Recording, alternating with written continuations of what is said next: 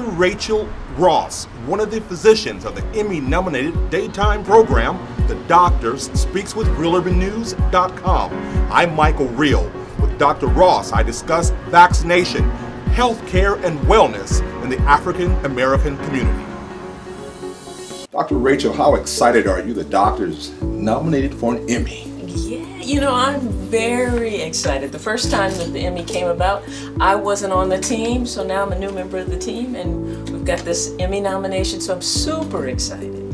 What is it like being a part of this professional, if you will, medical staff on television? You know what?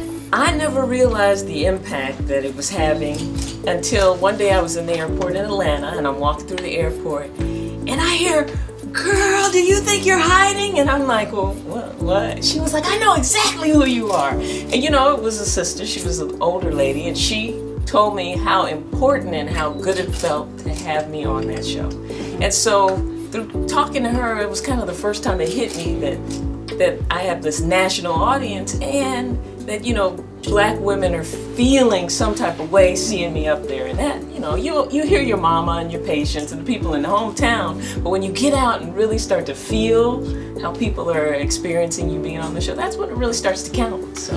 Speaking of the hometown you come from a line of doctors. Your family uh, is truly pioneering and leaders in the medical talk about your dad and his practice oh yes so my dad you know i come from a family we practice medicine in gary indiana that's actually still where I practice medicine. And so my dad started the clinic uh, years ago. He, uh, I want to say 45 years ago he started the clinic.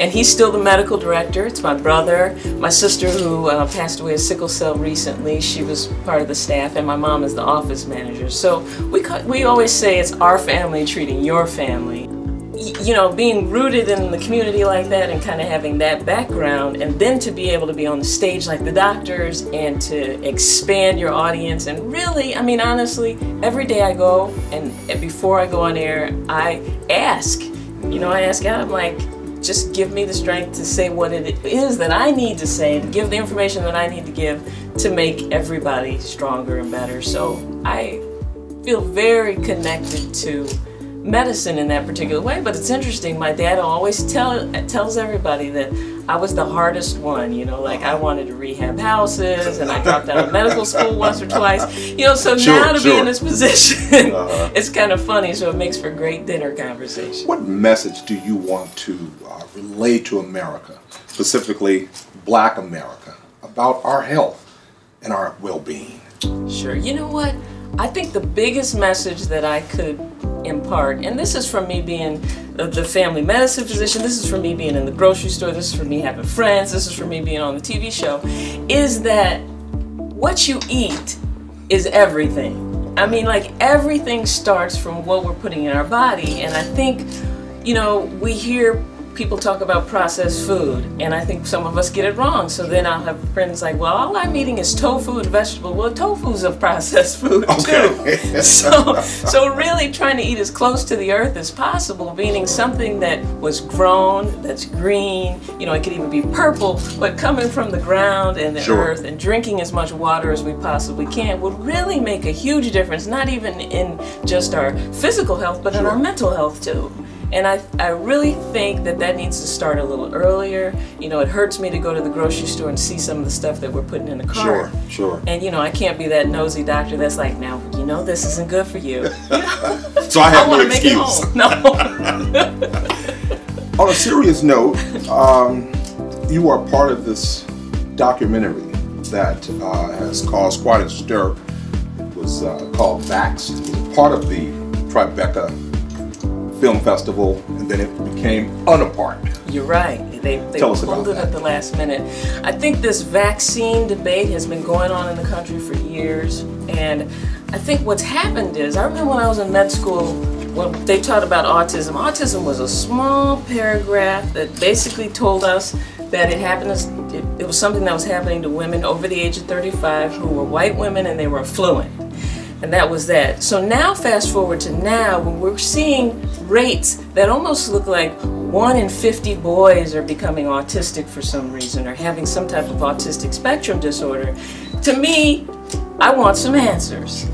And so um, unfortunately, what didn't make the news this year, which I thought should have, is that the CDC had a whistleblower that really came forward, Dr. Thompson, and came forward and said, you know, we have some data here about the MMR vaccine in African American boys that nobody is talking about, that we actually kind of threw away sure. so that no one would know. And basically, what it was saying is that African American boys, if they get the MMR, measles, mumps, and rubella vaccine before three years of age, that there is an astronomical increase in the amount of autism that we're seeing. And so, you know, Dr. Thompson sent the information to all of our organizations that are supposed to be on the forefront of the African American community, but you don't hear anybody talking about it. Nobody seems concerned about it. And for me, I challenge the CDC, the Senate, the Congress, and everybody that we deserve answers to why this is taking place, particularly when states like California are trying to make it mandatory sure. for vaccination to take place. To me, it needs to be a parent's choice. There needs to be some education, and we need some answers as to why there's an increased risk and rate of autism in the African American community. You know, just sitting here chatting, it kind of takes me back to our history and the Tuskegee Absolutely. experiment Absolutely. And um, the Tuskegee experiment was kind of like, okay, well, we have these gentlemen who have syphilis. Instead of treating them, let's see what happens. Let's see them go back into the community and give it to their partners. And let's just watch and wait and see what happens.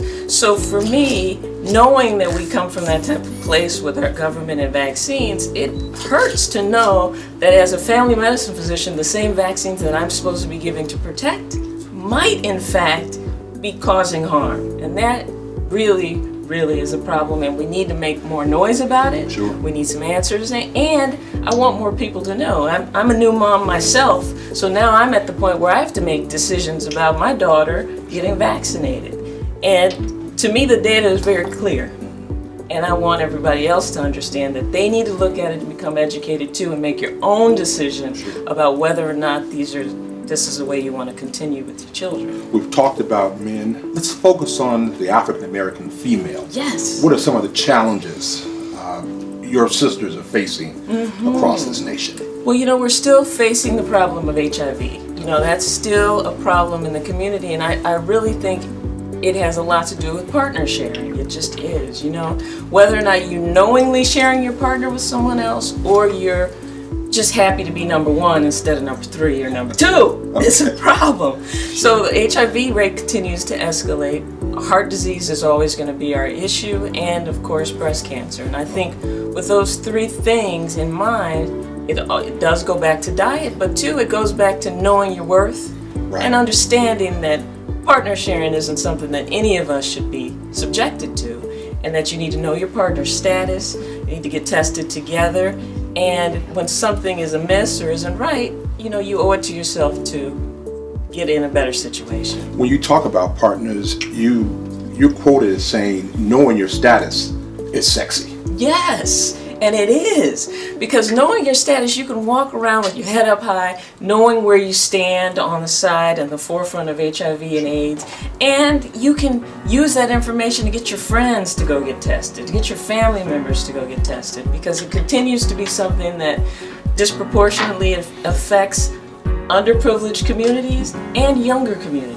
So making sure that you're educating your nieces and your daughters and your, you know, and, and just passing the message on that get, getting tested and protecting ourselves has to be a big part of what we do every day. When we look at and talk about HIV, we know there, uh, and you helped me with this, there's a, a, a, medicine on the market now that uh, has shown results where it slows HIV between male gender partners.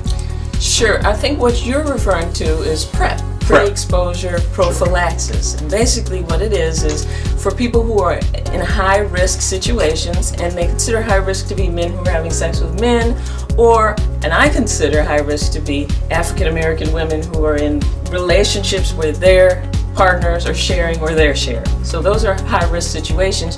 You can speak with your doctor about whether or not you fit the statistic of someone who would need to be on PrEP. So what PrEP does is it's a basically a pill that you take every day that is the exact same medicine that you would be taking if you were HIV positive, but what it's designed to do is keep your your levels in your body to the point that if you did get insulted with the virus, that it would take care of itself automatically. It's kind of, I almost want to think of it as like a vacuum cleaner that's running all the time. I think what you have to keep in mind though is that it is a medication, it does have side effects, it, it, it has been known to cause kidney problems. And as African Americans, we already suffer a lot of kidney disease. So I think anytime someone comes to you and says, well, we can prevent you from getting a disease, just take this pill every day, Sure. that, that might not necessarily be the route that we all want to take. Mm-hmm. I'm a big proponent of prevention Sure. and making decisions that are going to decrease your risk of, of contracting HIV. Do I think the whole community needs to be on medication every day? Absolutely not. But I do think in some cases, particularly if you have a partner and you know your partner has HIV, PrEP is perfect. That's the perfect situation because I think we run we we're, we're missing the point if we always talk about HIV in terms of someone else having Sure. it. because our family members have it, some of our partners have it, some of our parents have it. So if you think of it like that, then PrEP makes a little more sense. But to just throw the pill out there and tell everybody to take it, nah, I think we're We're we're going down a, a road that we don't want to travel down. On this show, uh, although entertaining, Yes, it's informative, yeah. but it also takes a lot of responsibility. It does. It does. I mean, because, you know, this is just on a little lighter note. I remember one time we had a, a, a story about a young boy who was living in California. He bought a rat from the pet store. His grandfather bought him a rat. He was so excited. Well, he caught a disease from the rat and passed away. So I'm on TV and I'm like, oh my God, well, this is terrible. And who would want a rat for a pet? I tell you, rats are so ugly. So I, you know, I do this little thing about the rats. I was in trouble with PETA for a whole year. Every website, every social media thing, the people were attacking me like, how dare you? You know, like, damn you, you talk bad about rats. So that was the one time I really realized that, you know, you have to be very careful what you say and what you put out there. But I do feel like I have a huge responsibility to make sure that the information that I'm providing is correct and that I've thought it through. I think I'm a little different than the average television doctor because I put my opinion in there. Sure. You know, like, I'm not just regurgitating facts. I'm putting opinion on, I'm telling you what I'm going to do for myself, what I'm going to do for my family, and I think that's what takes and elevates it to a point where it's actually real instead of just textbook medicine. As we close, what's your hope for America in terms of getting us and keeping us healthy? Hmm.